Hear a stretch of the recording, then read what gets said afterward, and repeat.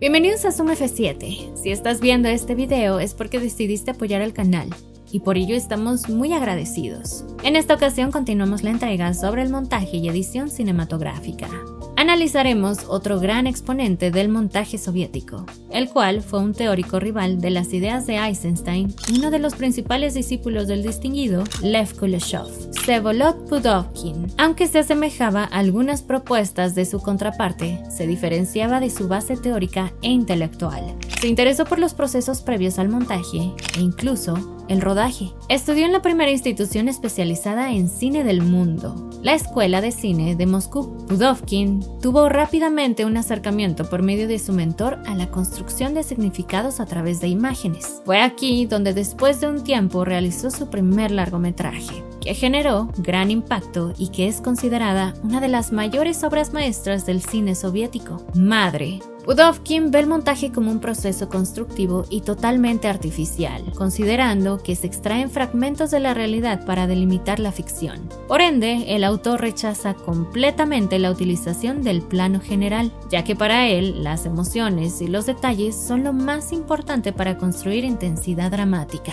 La imagen se debe expresar con relación, sí, a la yuxtaposición entre planos, pero principalmente a dos elementos, la emoción de los personajes y la continuidad. Como actor que también fue, el cineasta recurre siempre al uso de actores profesionales y elabora ciertos tratamientos también sobre la actuación. Considera que el actor de cine necesita tanto mayor seguridad y excitación que un actor de teatro. La confianza y seguridad de este se cultiva antes del rodaje. De aquí surge su famoso libro, El actor en el film. Sin embargo, la concepción teórica más importante para Pudovkin parte del montaje en una analogía filme-literatura. Para el director cinematográfico, cada escena acabada representa frases del montaje, y las más diversas combinaciones de estas darán lugar a la obra definitiva.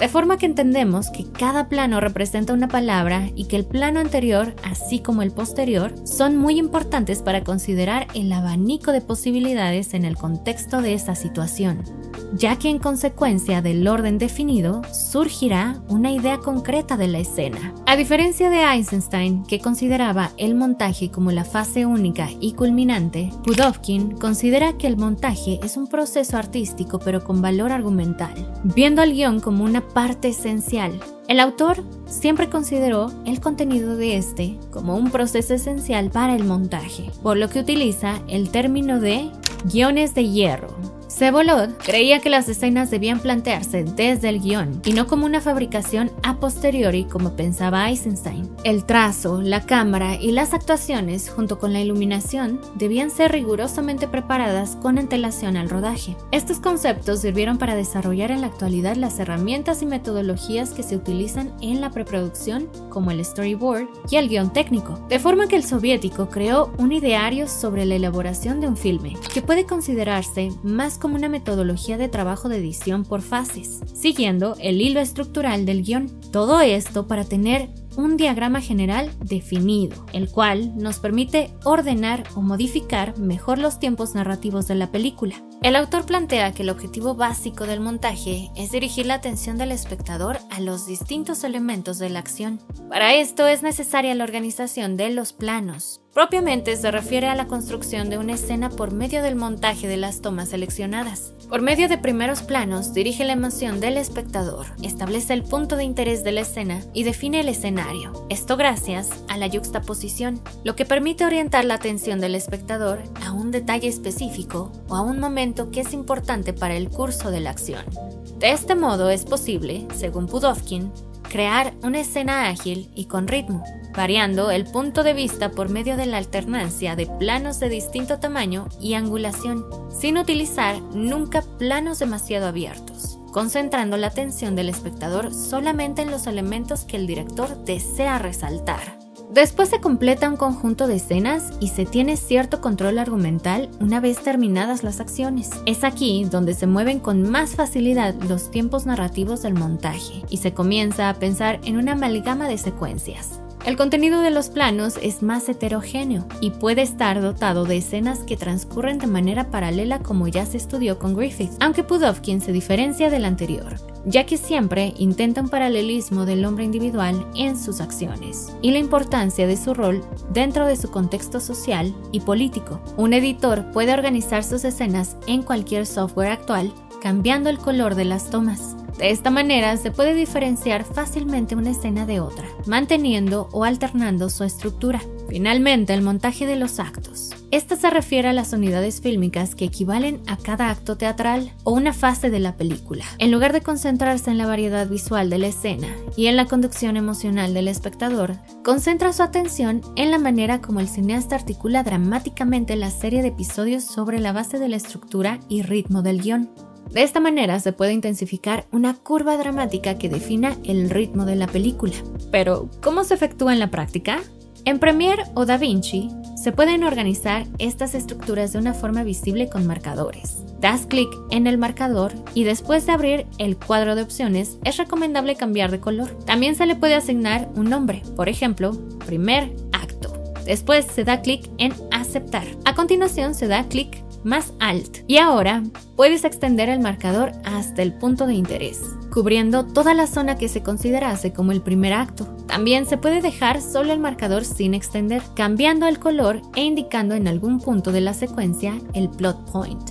Así se puede tener muy claro la estructura del guion en el montaje. Este ideario puede considerarse más como una metodología de trabajo, ya que se sigue línea por línea el hilo del guion, el cual puede ser muy útil para construir una narrativa y sin desorganizar el espacio de trabajo sobre todo cuando se trabaja con mucho metraje. Actualmente sabemos y conocemos casi por cultura popular las herramientas del montaje que nos desplazan en distintos tiempos, tales como el flashback y el flash forward, que funcionan como elipsis para sintetizar situaciones. Pero ¿qué sería de estos elementos si el montador no tuviera conocimiento de ciertas ideas de montaje para efectuar esta asociación de manera efectiva? Es aquí donde entra nuevamente el originario de Pensa, que desarrolló sus propias ideas de montaje entre planos disonantes, al igual que Eisenstein. Sus convenciones pueden ayudar a desarrollar elipsis más prácticas tales como el contraste, en donde el tratamiento visual es similar al de tesis y antítesis de Einstein. Contrastar situaciones para generar una emoción al espectador. No obstante, Sevolod adopta lo que antes habíamos mencionado, la posibilidad de hacer un contraste entre dos tomas en distintas líneas temporales. Para el soviético existen dos tipos de asociación entre planos ajenos la que se asocia solo por su similitud visual con el paralelismo y la que se asocia por una interpretación simbólica. En la primera variable, los llamados planos paralelos son aquellos que se asocian por algún aspecto visual o sonoro, mediante las mismas proporciones de escala y ángulo de la cámara, los elementos o figuras al interior del plano también se asemejan. Esto para respetar o conservar una idea visual y enlazarla a otros tiempos narrativos, como el match cut, el cual es un corte entre dos tomas con una semejanza visual al interior del plano. En la segunda variable se yuxtaponen planos con elementos distintos al interior del plano, pero que puedan ser asociados simbólicamente. Actualmente, ambos tipos de asociación nos sirven para sintetizar tiempos narrativos, y en otros casos también pueden funcionar como recursos para enlazar dos tomas que originalmente contenían entre ambas otras tomas, pero que después tuvieron que ser descartadas. En su manifiesto del sonido, Budovkin lo consideró como una herramienta de montaje más, oponiéndose claramente a las ideas de Eisenstein. El soviético implementó el sonido como reiteración, así surgió el leitmotiv.